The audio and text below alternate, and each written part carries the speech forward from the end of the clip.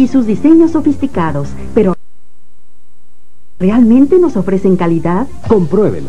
Al comprar un artículo electrodoméstico, asegúrese que tenga instructivo en español. Garantía por escrito para tener a quien reclamarle. Y para su seguridad, que lleve el sello NOM, pues indica que cumple con todo lo anterior. Comprar lo importado no es siempre afortunado. Instituto Nacional del Consumidor